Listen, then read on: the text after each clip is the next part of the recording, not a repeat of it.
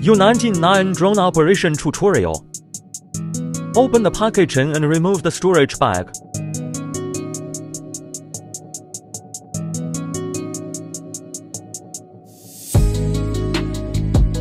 Remove the product and accessories.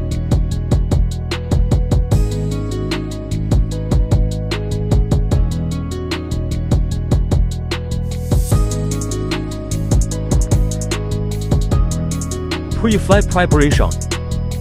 Unfold the drone arm. Installing drone batteries. Install obstacle avoidance module. Expand the remote control antenna uh, and open the remote control. Long press to turn on the drone switch. The remote control will automatically synchronize with the drone. Move the right joystick towards the bottom right corner to calibrate the gyroscope. The drone light remains on after flashing, and calibration is complete. Scan the QR code of the instruction manual to download the app. After downloading, connect to the drone Wi-Fi. After connecting, open the app. You can see the image transmission screen. If encountering magnetic field interference, the drone will not be able to take off. Please go to a non-interference environment and follow the app prompts to perform geomagnetic calibration. Rotate horizontally and clockwise for 3 circles and hear a beep. Then rotate it vertically and clockwise to hear a beep. Geomagnetic calibration completed. Wait for the drone to search for stars and take off. Install the phone clip onto the remote control. Clip on the phone. Unlock the drone with 8 strokes inside. Push the left joystick up to take off. Rise. 越快. Left rotation. Right rotation.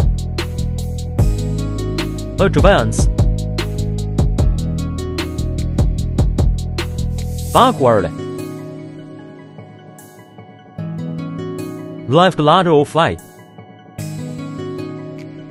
Right fly. Short press speed gear switch third gear. Short press to activate obstacle avoidance. Short press the return button, the drone will return to the takeoff point.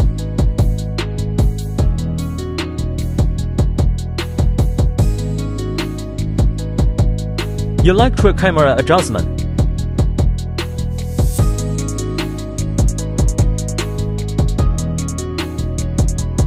Short press the lens fill light on off.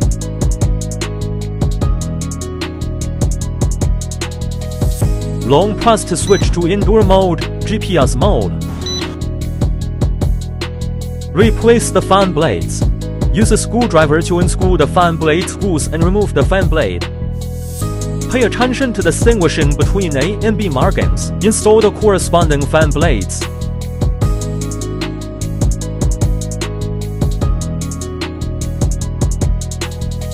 Charging demonstration. Connecting the battery. Connecting the power supply.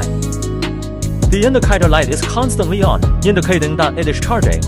Automatically turn off when fully charged. Connect the wires to the remote control. Connecting the power supply. Flashing indicator light indicates charging is in progress.